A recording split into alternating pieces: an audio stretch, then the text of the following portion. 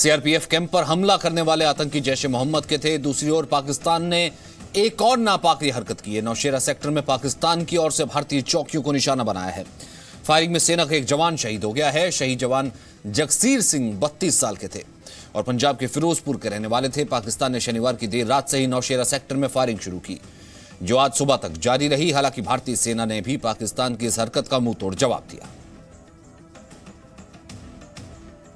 पूर्व केंद्रीय मंत्री और बीजेपी के प्रवक्ता शहनवाज हुसैन हमारे साथ हैं। शहनवाज जी, लगातार गोलीबारी हो रही है सीज फायर का उल्लंघन भी हो रहा है, हमारे जवान मारे जा रहे हैं बॉर्डर पे। क्या लगता है आपको पाकिस्तान क्या चाहता है?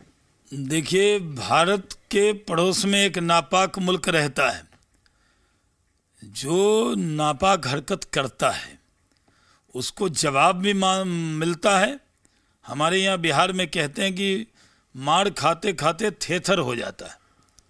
तो पाकिस्तान थेथराई से बाज नहीं आ रहा, उसको मार भी लगती है, तब भी वो बाज नहीं आता। हमारे यहाँ साल के आखिरी दिन बड़ी साजिश की थी, लेकिन हमारे सीआरपीएफ के जवानों ने अपनी प्राण की आहुति देकर पाकिस्तान के बड़े हमले को नाकाम किया है।